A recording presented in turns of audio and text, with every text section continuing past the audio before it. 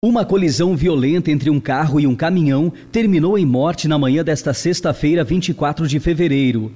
O acidente aconteceu na altura do quilômetro 82 da rodovia Engenheiro Constâncio Sintra, em Itatiba, São Paulo. No local, uma colisão frontal. De acordo com a polícia rodoviária, um veículo Chevrolet Cruze atravessou o canteiro central e seguiu na contramão, quando colidiu na lateral de um veículo Up e bateu de frente com um caminhão Mercedes-Benz. Em seguida, o veículo Cruze capotou várias vezes e parou em uma calçada próxima à rodovia. O condutor do Cruze era Cristiano Liberato, de 41 anos. Cristiano foi socorrido e levado para a Santa Casa de Itatiba, mas não resistiu à gravidade dos ferimentos e veio a óbito na unidade hospitalar. As causas do acidente serão investigadas pela polícia.